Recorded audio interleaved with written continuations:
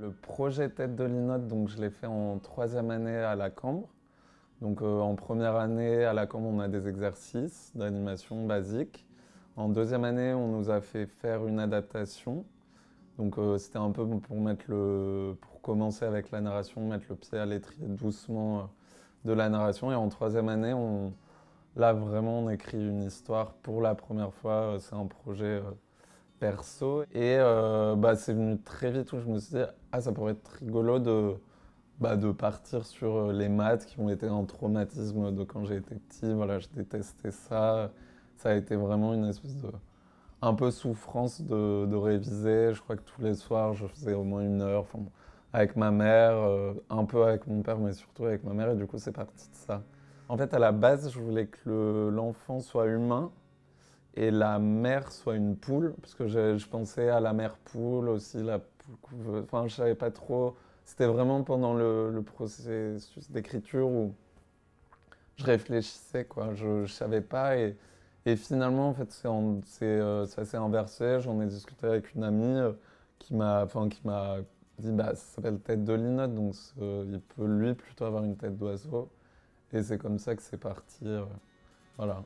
J'ai toujours bien aimé dessiner de l'eau, mais c'est vrai que là, quand j'ai quand j'ai fait ce film, euh, non, je me suis pas dit, euh, allez, euh, l'eau va avoir un intérêt, mais le premier exercice de maths auquel je pense quand je pense à un problème, c'est celui-là, parce que pour moi, c'est un grand classique, je crois.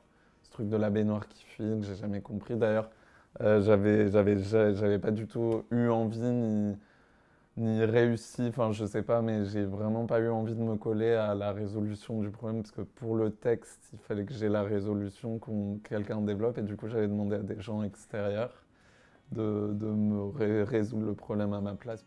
Tous les décors ont été faits à la main, je les avais faits à l'aquarelle sur grand papier. Euh, j'aimais bien la technique de l'aquarelle et de l'encre euh, noire où je me suis pas du tout pris la tête pour la couleur. Euh, je me suis, en fait j'ai c'est après, euh, quand j'ai scanné les dessins, je les ai colorisés sur Photoshop.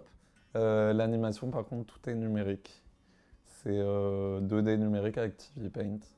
Et c'était en faisant en fait un stage avec Aude A. Leplège, qui a fait un court métrage qui s'appelle Saigon sur Marne. J'avais été stagiaire avec elle pendant un mois. Et en fait, j'avais découvert, c'est elle qui m'avait vraiment montré que bah, on peut mixer du traditionnel fait main avec du numérique. Et c'est comme ça que ça s'est fait.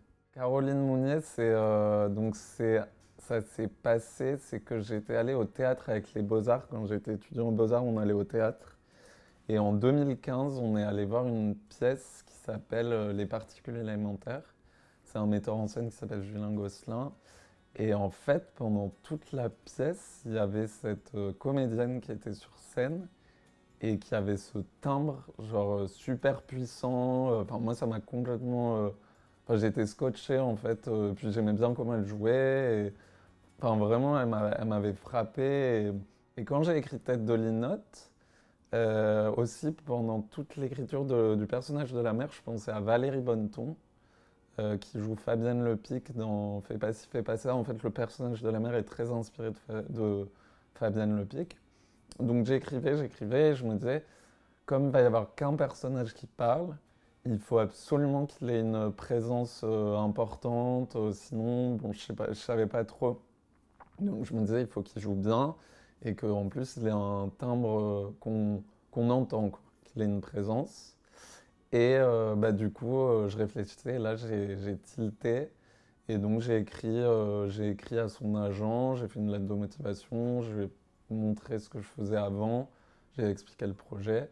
Ensuite, elle m'a donné l'agent, son agent m'a donné son contact, je lui ai écrit et une demi-heure après, elle me disait qu'elle était, qu'elle était partante et c'était trop bien. Je suis donc je suis allé chez elle à Paris avec un micro, euh, un zoom et euh, on a enregistré pendant deux heures et ça a été. Euh, elle m'a fait plein de variations. Enfin, j'ai deux heures de rush et ça a vraiment été génial, ouais c'est vrai que c'était pas un sujet rigolo quand j'ai réfléchi. Euh, bah, ça m'a fait vachement perdre confiance en moi, tous ces trucs de révision où je comprends pas l'exercice, tout ça. Mais euh, dans ce que j'écris, en tout cas, j'aurais toujours envie qu'il y ait de l'humour et aussi de la légèreté, ouais. Ça, c'est sûr.